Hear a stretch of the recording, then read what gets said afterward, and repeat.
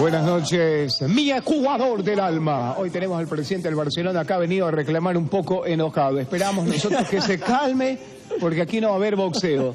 Comienza Gonzalo Rodríguez la ronda de preguntas. Adelante Gonzalito, por favor, préndale fuego. ¿Qué tal Roberto? Buenas noches a los compañeros en el panel, igual pues para Eduardo Maruri. La primera pregunta de una. Sé que el eh, jugador segundo Alejandro Castillo tiene un arreglo previo con el Deportivo Quito, pero se ha dicho que Barcelona también le puede tener en sus filas en los próximos días. ¿Es verdad o no es verdad? Eduardo, buenas noches. Buenas noches con todos, Soledad, Roberto, hincha, Gonzalo. Eh, rápido y directo, no, no es verdad. No es verdad. Eh, señor presidente, bueno, yo sé que está un poco enojado porque acá ha recibido críticas por todos lados, especialmente eh, a Mansalva y a veces que dice que han sido críticas injustas, pero nosotros siempre morimos de cara al sol, como la canción de Pablo Milanes. ¿Cómo está la negociación de Oyola? Si hablan de cifras de 700 mil dólares, de 900 mil dólares por temporada y media o por tres años. A ver, tanto Matías Oyola como Juan Zamudio han claramente manifestado su deseo de seguir en Barcelona y Barcelona ha manifestado su deseo de que ellos sigan en el club. Ese es el primer paso. Hay una intención de ambas partes. En el caso de Juan Zamudio es sencillo porque es el dueño de su pase. Entonces con él hay que negociar una extensión de su contrato por un periodo X. En el caso de Matías hay que negociar con Independiente. Independiente quiere venderlo, como casi siempre sucede en estos casos. Y nosotros como club queremos extender el préstamo. Pero los números se acercan, no son números demasiado dispares. Es decir, eh, claro, hay que ir negociando y espero y aspiro que lleguemos a un acuerdo. Pero ¿Hasta, cuándo debe tener Tenemos hasta finales de junio, para, hasta que se acabe el contrato. ¿Y, la apuesta de ustedes es por 700 eh, mil dólares? No es mucho dinero, 700 dólares. Para ustedes que votan la plata como techo. No, nosotros, nosotros esperamos más bien ampliarlo eh, vía préstamo de un año y medio más. Año. ¿Cuánto estaría costando eso? Un número que se maneja tanto de negociando, no me deje. 500 mil. Poco menos. Poco menos, 350 mil dólares entonces. 300, el jugador lo vale. Vamos a seguir hablando del tema porque no se nos va. En este programa lo vamos a tener. Todo el programa. Sí, todo, todo en el círculo. ¿Le puedo hacer una preguntita? No, no, primero la señora. Ah, por, favor, Por favor. ¿Cómo estás, Eduardo? ¿Qué tal? Bueno, eh, ha sido duro, un periodo duro para ti, la verdad. Este, lo conversábamos aquí extra micrófono justamente, un poco trayendo lo que ha sido la conversación en off que hemos tenido hace pocos minutos, eh, las críticas de la prensa. Eh, yo, te, yo te lo decía, porque no había tenido la oportunidad de tenerte cara a cara. El tema este de, de los resentimientos con los periodistas, porque la sensación y la percepción, tú sabes que la vida está llena de percepciones, y existe la percepción de que el presidente Maruri se toma personal esas críticas. Yo sé que ya me lo contestaste, pero me gustaría que lo contestes en público. Más bien es una oportunidad, porque lo dije también en la sesión solemne, y yo decía que la persona que está en la vida pública debe entender que va a ser criticado. Eh, y que esas críticas, cuando son, como son en tu caso, como fue en cualquier caso, críticas hacia la gestión y no a la persona, pues son mensajes que tienen que llegarte para cambiar, reorientar y retroalimentarte. Y en la mayoría de los casos es así. Por eso yo no estoy resentido con ningún periodista. Yo tengo más bien excelentes relaciones con todos los periodistas. El único caso en, que, en el cual ya actué fue cuando pensé que había algo más allá de un tema netamente profesional.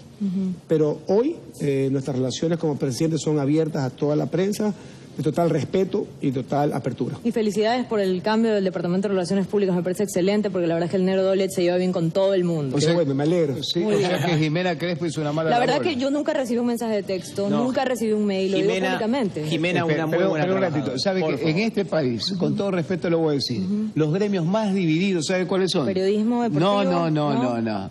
usted me está confirmando esta noche, la de las mujeres ah, y la de los que Ver el género. Sí, por favor. por favor. Bueno, eh, presidente, usted sabe el aprecio que yo le tengo y lo digo uh. públicamente. Sí, así me molesten mis compañeros. por favor. Siempre he dicho que es un presidente que ha aguantado muchísimo y ¿Aguantado qué, pues? Muchísimo palo. ¿Palo, de quién? de, toda la prensa, porque es verdad, fue muy criticado, criticado por los hinchas también, pero en la vida nada se pierde, todo se transforma. Y no, quiere, no, no, muere. Es, que es, la ley de la dialéctica, es no muere, sino que se transforma. Así es. el presidente está firme y tiene el equipo en la primer, en, en, los primeros puestos. En este caso, Barcelona es puntero. ¿Qué pasará? Pues, un beso en la boca de una vez, pues por favor, se va a entrar en el dedo ¡Qué bárbaro! ¿Qué pasará mañana, presidente? Una lengua de este porte, por sabe que yo soy el hincha, el hincha tiene muchos amigos. ¿Qué pasará mañana, la presidente? Que, la verdad es que sí, considero el hincha un amigo y, y más allá de eso, eh, yo creo que mañana es un día importante. Es un día importante y esa es la razón principal por la que ha venido acá, porque creo que hay que hacer conciencia de que en caso de mantenerse esta sanción sería una gran injusticia para Barcelona, una gran injusticia para los miles de hinchas, para los dueños de palcos, de suites, socios, auspiciadores. Y creo que mañana la Federación Ecuatoriana de Fútbol tiene un día duro, porque tiene que tomar una decisión. Dentro de equidad, que es la justicia de la Así es, así es. Dentro de la equidad y la justicia y lo reglamentario, que son las variables de una decisión justa y sana y equitativa. Entonces, mañana vamos a ir con todos los argumentos legales, con el poder que te da el, tener el saber que tienes la razón. Muy bien. Y, esperamos pues que mañana los miembros del comité ejecutivo, quienes sabemos que son gente inteligente, gente pensante, gente justa, pues logre cambiar y levantar esta sanción y que todos los miles de guayaquileños puedan ver en casa jugar al ídolo de Ecuador con Liga de Quito. Muy bien, Gonzalo, dele Gonzalo, por favor, Eduardo, Las declaraciones que hizo el señor Rodrigo Paz, las declaraciones que hizo Edgardo Bausa, que han hecho los jugadores en que ellos quieren jugar en el Monumental, ayuda de alguna manera para que esta apelación que ustedes han presentado tenga peso y también pase para que sea eh, tomada en cuenta estas declaraciones, como dijo el señor Paz, yo prefiero jugar en el Monumental. Bueno, yo creo que eh, el peso de la apelación lo dan sus argumentos jurídicos. Y los argumentos jurídicos son contundentes. Pero yo creo que las manifestaciones y las adhesiones a la posición de Barcelona, como las de miles y miles de hinchas, como las de otros clubes, asociaciones, alcaldes, dirigentes de otros clubes, evidentemente ayuda. Suma porque es el reflejo de que una injusticia se está cometiendo. Y cuando sucede una injusticia, la gente se manifiesta espontáneamente. Así que, en concreto, sí, yo creo que suma. Yo quería también un poquito, Eduardo, agregar.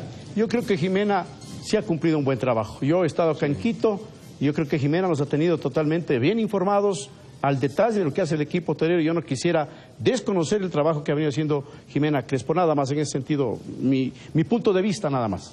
Bueno, yo quisiera que sea un paréntesis en el tema. Yo creo que las personas cumplen su rol en su momento. Así es. Y, es fácil olvidar las cosas buenas, también hay que decir las cosas malas porque no somos perfectos, pero lo importante es que hoy Barcelona cumple una, tiene una comunicación fluida con la prensa, tanto en Guayaquil como en Quito. Muy bien.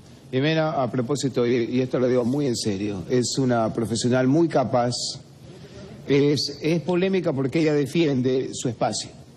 No, y, muy, leal, muy, leal, muy, leal, muy honrada, claro. muy honrada. Trabajó aquí en este canal durante muchos ¿Ah, años, no, muchos años y se fue y la gente cuando se iba le decían que no se vaya y se fue, se fue donde usted, porque usted la convenció y ahora la echa. Eso no está bien, por favor.